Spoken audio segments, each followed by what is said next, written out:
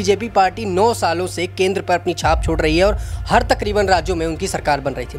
लेकिन इंडिया गठबंधन के इस जुड़ाव होने के बाद से ही यह पहला झटका है बीजेपी को। बीजेपी तरीके से सुधाकर सिंह के जो पोल खुल रहे थे मतलब कि जो एग्जिट पोल की जो खबरें आ रही थी और जिस तरीके से चुनाव के रिज़ल्ट आ रहे थे आप देखिए लगातार वो आगे बढ़ रहे थे। शुरुआती दौर पे पाँचवें चरण में देखा गया तो हज़ार वोट के आसपास वो आगे थे। लगातार हज़ार दो हज़ार तीन हज़ार और ऐसा समय आया बारहवें चरण पर वो सीधा पंद्रह हज़ार वोटों से आगे। आकाश आप इस अब देखिए मणिपुर पर राहुल गांधी गए थे और जमीनी स्तर पर लोगों से बातचीत की थी वहाँ रुक कर आए थे और लोगों से जानकारी ली थी। तो कहीं ना कहीं ये एक बड़ा कारण होता है जनता से जुड़ाव करने का। सिर्फ़ भाषण देने से और तमाम बड़ी बड़ी बातें कहने से जनता का जुड़ाव नहीं होता। जनता के बीच जाना पड़ता है, उनकी समस्याओं को समझना पड़ता है और देखना पड़ता है कि आगे वाले, आने वाले समय में जनता क्या चाहती है, युवा क्या चाहता है। तो जिस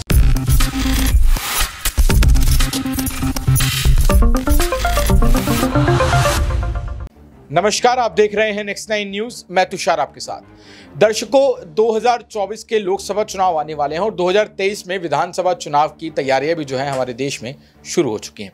और इसी को देखते हुए अभी दो दिन पहले जिस तरीके से घोसी उपचुनाव हुए, जिस तरीके से वहाँ का रिज़ल्ट सामने आया कल, और उसने ये बता दिया कि कैसे उत्तर प्रदेश में इस समय भारतीय जनता पार्टी का जो भविष्य है, वो अब डगमगाने लगा है।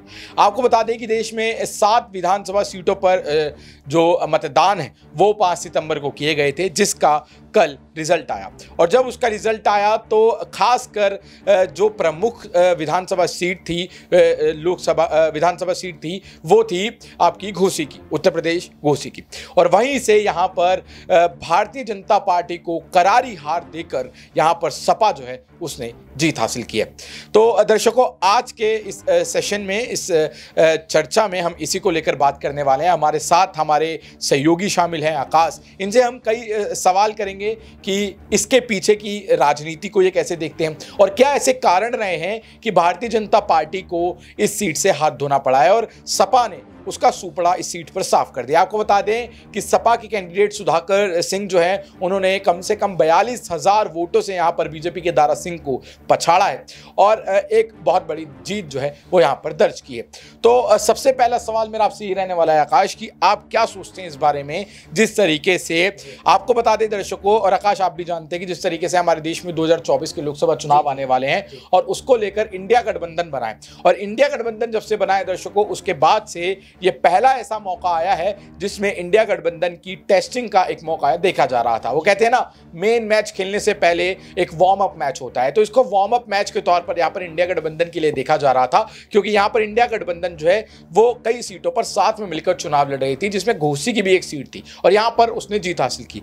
तो आकाश, आप इस जीत को किस तरीके से देखते हैं? जी हाँ बिल्कुल देखिए, जिस तरीके से जीत हुई है, आप देख रहे थे कल लगातार वोटिंग जिस तरह से खुल रही थी और लगातार सुधाकर सिंह आगे बढ़ते जा रहे थे। बीजेपी पार्टी के खिलाफ, जो बीजेपी पार्टी नौ सालों से केंद्र पर अपनी छाप छोड़ रही है और हर तकरीबन राज्यों में उनकी सरकार बन रही थी।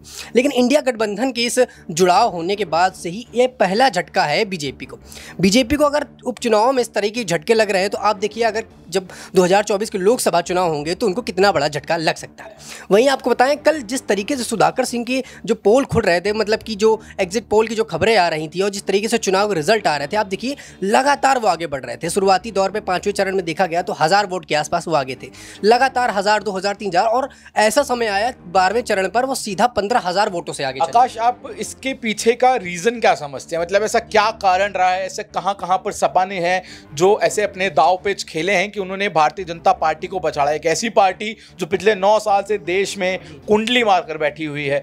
क्या ऐसे कारण रहे कि यहाँ पर सपा जो है वो भारतीय जनता पार्टी से आगे निकल गई? जी हाँ इस बार कारण देखने की अगर बात की जाए तो सबसे पहले यही आती है कि ज़मीनी स्तर पर काम। सपा ने ज़मीनी स्तर पर लोगों से जुड़ाव करके वो काम किए जो शायद बीजेपी इस बार नहीं कर पाई। बीजेपी जी ट्वेंटी पर लगी रही और तमाम मुद्दों से भटकाने पर लगी रही, राजनीतिक मुद्दों से लोगों को भटकाने लगी, हिंदू मुस्लिम करके विवाद में तमाम उलझाने की कोशिश की। लेकिन सपा और गठबंधन की ये जीत जो कि बहुत सामने दिख रही है इस बार चुनाव में, इन्होंने ज़मीनी स्तर पर काम किया। आप देखिए मणिपुर पर राहुल गांधी गए थे और ज़मीनी स्तर पर लोगों से बातचीत की थी वहाँ रुक कर आए थे और लोगों से जानकारी ली थी। तो कहीं ना कहीं ये एक बड़ा कारण होता है जनता से जुड़ाव करने का। सिर्फ़ भाषण देने से और तमाम बड़ी बड़ी बातें कहने से जनता का जुड़ाव नहीं होता। जनता के बीच जाना पड़ता है उनकी समस्याओं को समझना पड़ता है और देखना पड़ता है कि आगे वाले आने वाले समय में जनता क्या चाहती है युवा क्या चाहता है। तो जिस तरीके से यहाँ पर दर्शकों आपको एक चीज़ और बता दें कि इसमें एक और बहुत बड़ा जो कारण देखा जा रहा है आकाश कि जिस तरीके से मैं आपसे जानना चाहूँगा कि इस बार इस सीट पर जो है वो मायावती ने अपना कोई कैंडिडेट नहीं उतारा था। और ऐसा कहा जा रहा है कि अगर मायावती की पार्टी यानी कि बसपा से यहाँ पर कोई भी कैंडिडेट अगर उतर जाता तो रिज़ल्ट जो है वो चौंकाने वाले भी हो सकते थे यानी कि चेंज भी हो सकता था। तो क्या ये भी एक कारण है कि भाजपा का जो कैंडिडेट नहीं उतरा उसका फ़ायदा यहाँ पर अखिलेश यादव को मिल गया? क्योंकि कई ऐसे वोट बैंक है बसपा के जो मुसलमान वोट बैंक है जो। यहाँ पर मायावती को ही चुनते हैं। लेकिन इस बार उनको ना चुनने की बजाय क्योंकि उनका कैंडिडेट था नहीं तो उन्होंने अखिलेश यादव को चुना। जी देखिए, जिस तरीके से चुनाव हुए, चुनाव में से मुस्लिम वोट नहीं, बल्कि ठाकुर और वैश्य बहुत सारा वोट उनको गया। अगर मायावती का अगर जो कैंडिडेट उतरता तो ज़ाहिर सी बात है कुछ वोट्स कटते। लेकिन इस बार जो एक बड़ा वोट बैंक इनको अखिलेश यादव को मिला है, वो अन्य जातियों का है, जो पहले नहीं मिलता था। आप देखिए, पहले मुस्लिम या यादव वोट ही ज़्यादातर अखिलेश को वोट करते थे। लेकिन इस बार जिस तरीके से काम हुए हैं, तमाम जो अन्य दल के लोग थे और जो जातियाँ हैं, उन्होंने उनको जमकर वोट दिया तो जिस तरीके से आकाश ने बताया कि यहाँ पर अखिलेश यादव जो हैं, वो एक बड़े वोट बैंक को साधते हुए नज़र आए। दर्शकों, आपको बता दें कि इस सीट पर जो है, वो खुद सीएम योगी आदित्यनाथ यहाँ पर उतरे थे। उन्होंने उतरकर यहाँ पर जो है जनता को संबोधित किया था। यहाँ पर दोनों मुख्यमंत्रियों को उन्होंने अपनी ज़मीन पर उतारा था। करीब भारतीय जनता पार्टी के 26 बड़े मंत्री जो हैं उत्तर प्रदेश के, वो इस सीट पर उतरे थे प्रचार के लिए। और कई सौ कार्यकर्ता, यानी कि पूरा भारतीय जनता जनता पार्टी की फौज जो है, वो यहाँ पर इस सीट पर चुनाव के लिए उतरी थी। लेकिन हुआ क्या? उसका रिज़ल्ट आपके सामने है। यहाँ पर बाजी मारी अखिलेश यादव और उनके चाचा शिवपाल यादव ने। जी हाँ एक नाम यहाँ पर जो और अखिलेश यादव के साथ सामने आ रहा है, वो है उनके चाचा शिवपाल यादव, कि इस बार वो यहाँ पर अखिलेश यादव के साथ कंधे से कंधा मिलाकर प्रचार करते हुए नज़र आए और इन दोनों की जोड़ी ने यहाँ पर खुशी में कमाल कर दिया। जनता को बता दें कि मुख्तार अंसारी जो इस समय जेल में है, वो उसी सीट से विधायक रह चुके हैं दो बार और उनकी भी पकड़ अच्छी खासी वहाँ पर मानी जाती है और उसका भी कहीं ना कहीं फ़ायदा जो है, वो कहा जाता है कि अखिलेश यादव को इन चुनावों में मिला है। आकाश, आपसे आखिरी सवाल मेरा ये रहने वाला है कि जिस तरीके से इंडिया इंडिया गठबंधन बना और इंडिया गठबंधन बनने के बाद इस सीट पर इंडिया की तरफ़ से भी कोई कैंडिडेट नहीं था। इंडिया की तरफ़ से ही यहाँ पर अखिलेश यादव जो है वो एक तरीके से चुनाव लड़ते हुए दिखाई दे रहे थे। तो इंडिया के लिए ये पहला मौका था इंडिया गठबंधन का पहली बार था कि जब वो तमाम विपक्षी पार्टियों के साथ मिलकर चुनाव लड़ रही थी और उसको यहाँ पर जीत हासिल हुई। हाँ बाकी जो विधानसभा की कुछ सीटों पर जो चुनाव हुए वहाँ पर वो ज़रूर हारी। लेकिन यूपी यूपी एक बहुत बड़ा राज्य माना जाता है लोकतंत्र के हिसाब से।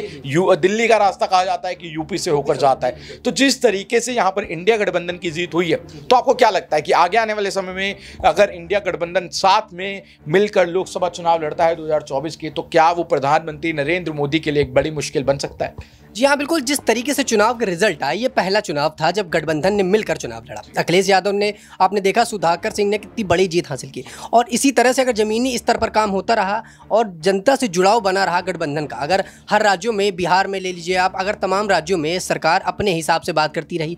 राहुल गांधी ने भारत जोड़ो यात्रा से बहुत से लोगों को समेटा। एक ये भी जो है, अखिलेश यादव को प्लस पॉइंट होता है अगर गठबंधन से वो जुड़ते और इसी तरह से अगर अखिलेश यादव और तमाम नेता लोगों के बीच जुड़े रहे और जुड़ाव करते रहे तो कहीं ना कहीं इस बार मोदी जी को दो 2024 के चुनाव में खतरा तो महसूस होने वाला है। तो जिस तरीके से दर्शकों आपने सुना कि मोदी जी को यहाँ पर इंडिया गठबंधन से खतरा 2024 में होने वाला है और इसके जो परिणाम है वो अभी से दिखने लग गए हैं। आपको बता दें, हमारे देश की राजधानी दिल्ली में जी ट्वेंटी सम्मेलन जो है वो चल रहा है और जैसे ही ये खत्म होगा, उसके बाद चुनावी जो रणनीतियाँ हैं वो खासा तेज़ी से बननी शुरू हो जाएँगी। हालाँकि ये बात अलग है कि जी ट्वेंटी सम्मेलन को भी चुनावी प्रचार प्रसार के रूप में जोड़कर देखा जा रहा है। लेकिन उत्तर प्रदेश में जिस तरीके की हार यहाँ पर योगी आदित्यनाथ को मिली है, ये उनके लिए एक बहुत बड़ी हार है और उनके लिए एक बहुत बड़ा झटका है। क्योंकि यहाँ पर अब उन्हें आत्ममंथन करने की ज़रूरत है कि आगे आने वाले लोकसभा चुनाव जो होने वाले हैं, उसमें किस तरीके की रणनीतियाँ बनाई जाए। क्योंकि कहते हैं ना कि यहाँ पर एक सीट ही सही, एक छोटी सीट कई लोग ऐसे कह रहे हैं कि सपा ने बहुत छोटा काम किया है एक छोटी सी सीट जीती है या एक चुनाव जीती है। लेकिन आपको बता दें दर्शकों की कहा जाता है कि बूंद बूंद से बनता है सागर। तो ये बूंद बूंद जो अब यहाँ पर इंडिया गठबंधन इकट्ठा करने लग गया है, हो सकता है कि ये 2024 में उसको सागर में तब्दील कर ले। अब दर्शकों, आप इस बारे में क्या सोचते हैं? आपकी क्या राय है? हमें नीचे कमेंट सेक्शन में ज़रूर बताएँ और देखते रहें नेक्स्ट नाइन न्यूज़ मैं तुषार, धन्यवाद।